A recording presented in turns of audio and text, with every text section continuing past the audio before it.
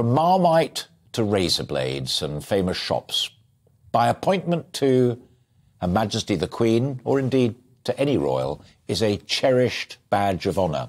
Royal warrants, as they're known, are in their personal gift, a way of thanking businesses that have done them good service. And my next guests, Emma and David Quenby, are an example of that. As Prince of Wales, the now King, honoured them, look at them smiling quite rightly, uh, for their Welsh farmhouse apple juice. And I'm delighted that they have come to discuss it. I mean, you have to, I mean, I know because I've read the briefing notes, but you two have got to share with GB News viewers and listeners how it came to pass because it, it, you kind of started off as suppliers to him, didn't you?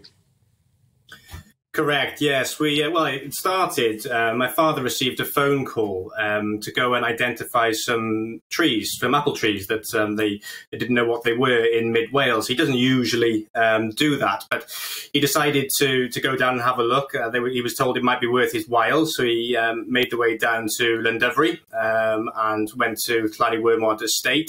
Um, wasn't sure whose estate it was and looked around the orchard. Very, very interesting place, and was told at the end that it it indeed was Prince Charles's estate, um, the Llwynywermod estate in near Llandovery. So, very, very um, interesting place. And uh, I was asked then whether, well, basically Prince Charles had tried our juice, really, really enjoyed it, and asked whether we would be prepared to make juice for him, which we um, quickly agreed to, as you can imagine. And he did. Um, he, he, decided um, uh, sort of about five years later or so, he'd like to come and visit the farm and see how it was produced. Um, so we had a royal visit in summer of 2014, and the royal warrant was issued um, January 2015. So a, a very, very proud moment for the whole family, as you can imagine.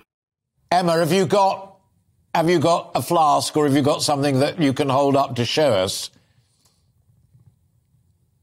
We don't actually.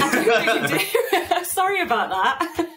It's, it's, our fault. We were supposed to ask you to do that, but uh, just everybody close their eyes for a moment and imagine little crest and what have you, uh, uh, and there it is.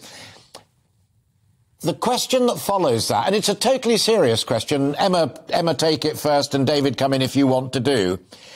Once you've got it, you've got to maintain standards. You two are not just amateurs uh, making, you know, fruit juice from a few spare apples if you happen to have an apple tree in your in your garden. You've got to meet a standard that he approves of, and you've got to maintain it. Emma? That's exactly right. So I think a lot of people don't realise that in order to be awarded the warrant, you have to uh, meet very kind of strict requirements in terms of your economic impact and in terms of your environmental impact and your sustainability policies.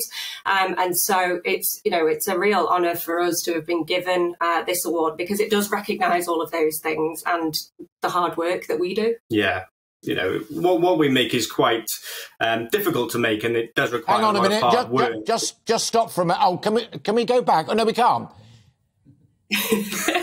Is this moving? No, it's because we had the two of you standing there, and, and, and I could see the royal crest there. It was it was above the letter W, but we're now looking at a bottle, uh, which I'm sure. Oh yeah, it is there at the bottom, isn't it? Right in the yeah. middle. That, that's the little crest, and it just absolutely delightful.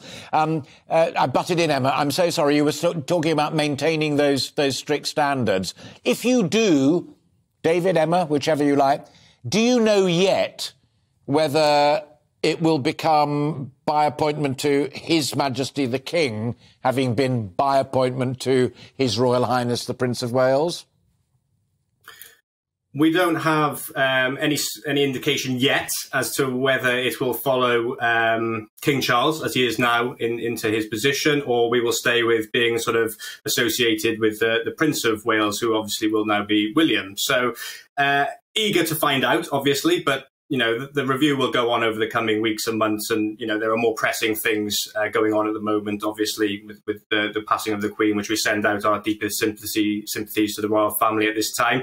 But yeah, it, we will we will I'm sure find out in due course.